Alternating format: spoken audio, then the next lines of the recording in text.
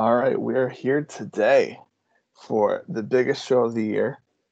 AEW presents oh, All This is Out. the biggest show. the- Hold on, hold on. You can't say this. 2020. We had Wrestle Kingdom two nights with people. That was the biggest show of the year. Okay, but here's the thing: when when WWE is like, "Oh, the biggest show of the summer, the biggest show of the year," like WrestleMania, like you know what? This is AEW's WrestleMania. All Out is AEW's WrestleMania. No, WrestleMania is WWE's All Out. So you know what? All I'm saying is, all I'm saying is, this is the show of the year. It's the biggest show of the year. It was supposed to be in Chicago, but it's no, not. we're all supposed to go. Well, I wasn't supposed to go, but then I was gonna go because everything got canceled. They open up that border. I might or may or may not be in Jacksonville for Saturday. So, the matches, you have to, when you pick the winner, you have to consider uh, that it was supposed to be in Chicago because that has that has a purpose. So we're going to start off with the pre-show, the buy-in, as you will. We got Big Swole with the returning Britt Baker, who did a, a- like a, thousand dollar kick to the face with those Jordan One Chicago's. I mean, she's back. She's better than ever. She's going to win this match. She's going to win the next 10 matches. She's going to eventually go after the AEW Women's Championship. Justin, what'd you think? She's probably gonna win this match. I wouldn't let her lose this match, especially her ever act of her, like you know, being such a heel Mm-hmm. and being out for so long. I don't know why would you bring her back just for her to lose. I don't know. All right, that's what I think.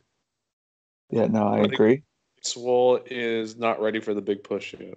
hmm Yeah, I really think Deborah Baker is like legit. Like the next big match she has will be for the title.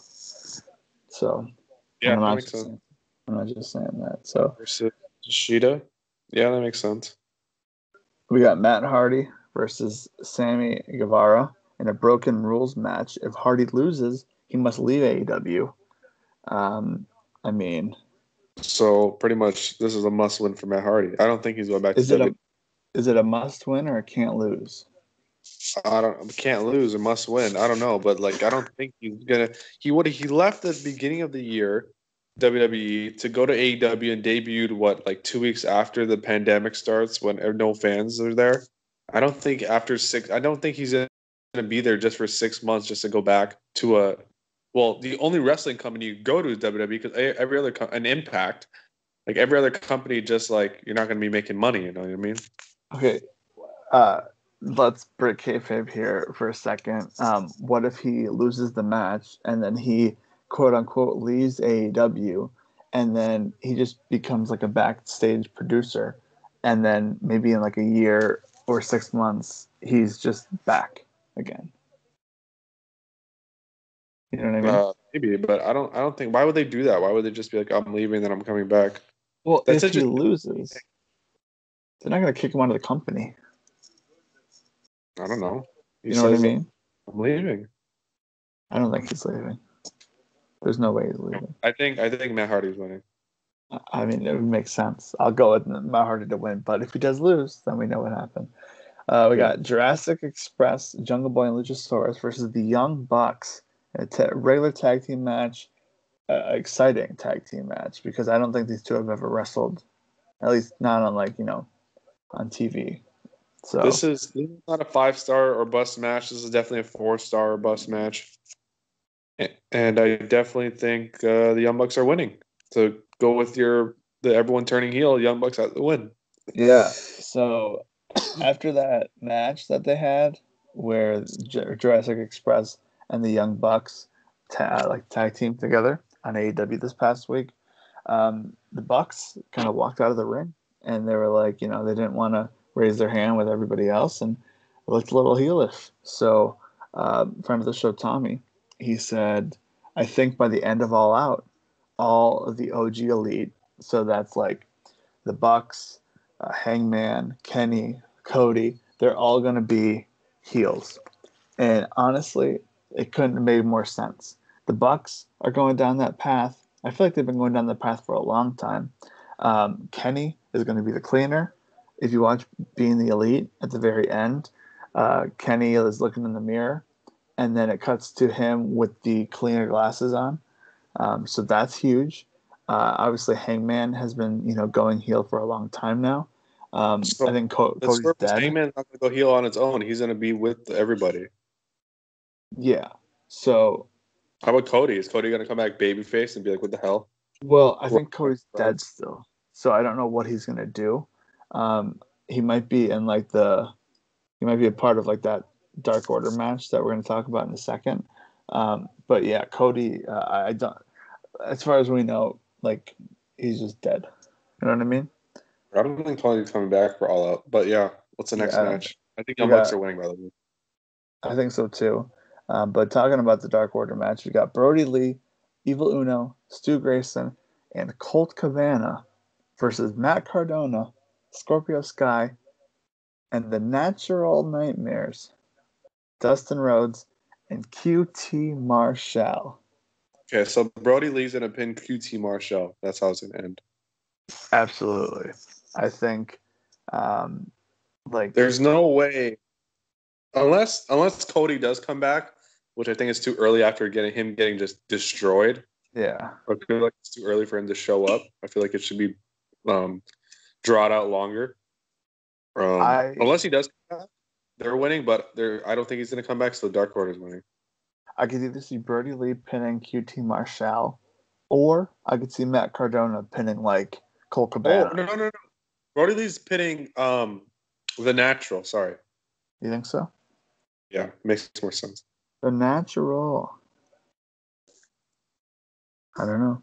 I mean, uh, there's a lot of different options. Is eight man tag, so anything is possible. Speaking of many options, we got the 21 man casino battle royal. Winner receives a future AEW World Championship match. I mean, let me go through this list real quick. Darby Allin, Lance Archer, Brian Cage, Ricky Starks, Pentagon Jr., Rey Fenix, The Butcher, The Blade, Eddie Kingston, Shawn Spears, Billy Gunn, Austin Gunn, Jake Hager, Santana, Ortiz, Let's Go Chuck Taylor, you're the best wrestler in the world, Trent versus TBD. This might be might be the best match on the show. I'm not gonna lie, with all those people in the match. I mean, this is going to be awesome. Like the pre-show match. Like if you don't want to, if you want to see the best match on the show and don't care about anything else AEW, the pre-show match might be the best match of the whole night. I don't think this is the pre show. Well, it's on. I think, according to Wikipedia, and Wikipedia we know is the greatest, um, it's on the actual show. So, Okay. Well, if, it's on- if on if it's on the actual show, it's the best pay-per-view match of the night. I think. I'm going with Eddie Kingston or TBD to. I think it's gonna be Darby Allin to get You a think so? championship. Uh-huh. against MJF. No, against uh, Mox. Really makes you think. So we got the women's world championship match: Shida versus Thunder Rosa. I have a feeling. Oh, man. I was I was gonna say Thunder Rosa. Her title looks like a commemorative title. It, it looks interesting that title belt. What is that title from? NWA, Okay, it's an interesting not the belt. group, the wrestling group.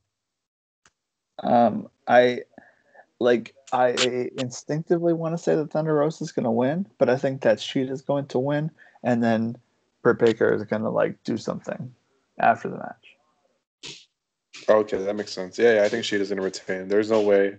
Uh, well, there's not no way, but Yeah, you know, there's no way she's winning.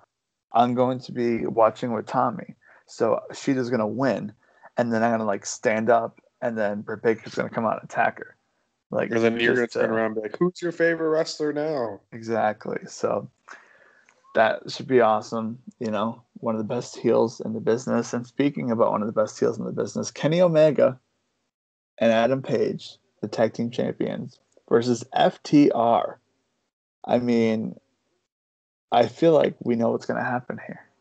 But then again, I don't know if we know tag what's going to champs. happen Everyone here. thinking new tag champs. I feel like if you ask anyone, new tag champs. Like I- if yeah. you want, if there's a lock of the night, it's new tag champs. I think so too. I mean, FTR, like they are a real tag team, so they can really carry this you know division and carry the titles. Um, so here's the thing. I feel like okay, like I feel like Kenny and uh, I, I feel like the easy answer would be Kenny turns on Adam Page and then like you know? Hmm like th- that's like the thing. Because i don't think adam page is going to turn again like you know what i mean? Like i think kenny has to be the one to to do the deed if you know what i mean. Yeah. because uh, one of the things that um, tommy was saying was if kenny costs them the match so like he you know he he attacks or you know he he punches adam page and then you know ftr pin adam page and win the tag titles. And then kenny in the main event comes out as the cleaner and like you know like after moxley wins he you know like goes after him as the cleaner so Yeah. but that's we'll get Uh, that second I don't. I think FTR is going to win. I think this has. I don't know if we were live, this would be like the five stars or bust match. But I, s- I, yeah I don't know. I don't think any match could get like a per not a perfect score, but it it doesn't get that hype when there's like a ton of people. Even Mhm. though there'll be people there cheering, it's not the same as being like a packed crowd. Oh yeah, there's there's no no chance it's gonna be what it could have been if it was in Chicago. Uh, but this next match, I mean, like talk about five stars or bust. Jericho versus Orange Cassidy in a Mimosa Mayhem match. The match can be won by pinfall, submission, None of that's gonna happen because you know it's throwing the opponent into a tank of mimosa. I mean, the is match. this the greatest match? If this is WCW, it's gonna end in submission because the swerve. But this is they're not building that Samosa thing, and no one's not getting thrown in. I mean, that's feel- gonna be awesome. I feel like people are hating this match, but it's What not? WWE. So I give all my faith in AEW for this probably to be great to amazing to watch. And Jericho's definitely losing. My expectations are so high for this match. It's like it's unreal. It's unreal how high my expectations are. And mm-hmm. the fact that like you got Jericho, who's the bubbly guy, versus Orange Cassidy, like the, and you gotta you were able to make a match off of a drink.